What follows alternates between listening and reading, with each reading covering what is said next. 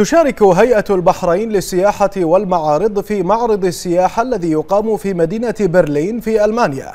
وذلك في إطار جهودها الرامية لتعزيز مكانة مملكة البحرين كوجهة متميزة على خارطة السياحة الإقليمية والعالمية والمساهمة في زيادة عدد الزوار للمملكة ومضاعفة مساهمة القطاع السياحي في الاقتصاد الوطني. ويترأس سعادة السيد زايد بن راشد الزياني وزير الصناعة والتجارة والسياحة وفد مملكة البحرين المكون من مسؤولين وممثلين عن عدد من الفنادق الرائدة ووكلاء السفر بالإضافة إلى شركة طيران الخليج الناقلة الوطنية لمملكة البحرين. ويشهد جناح مملكة البحرين مشاركة ثلاثة دراجين ألمان من فريق البحرين ميريدا.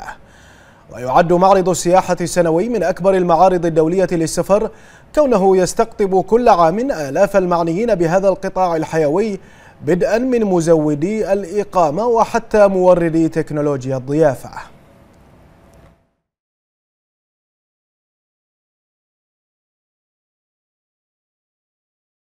نتواجد اليوم في معرض السياحة والسفر العالمي في برلين.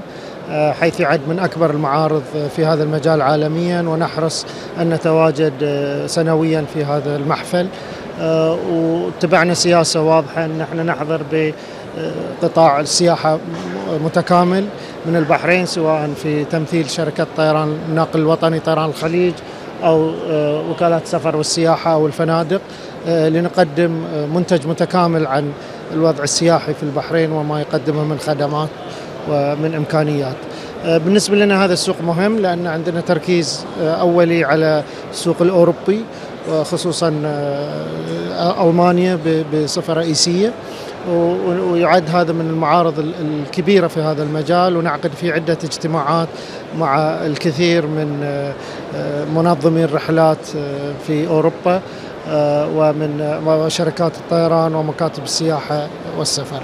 آه، حرصنا أيضا على توسيع آه، جناح البحرين العام تلو الآخر والسنة نشوف أكبر تواجد هنا من ناحية العدد والمساحة وإن شاء الله مستمرين في هذا النهج آه، لأن بالنسبة لنا شفنا نتائج طيبة من خلال مشاركتنا في السنوات القليلة الماضية وتركيزنا على هذا المعرض ونجد انه فرصة استثمارية جيدة لترويج البحرين والاستقطاب المزيد من السواح من هذه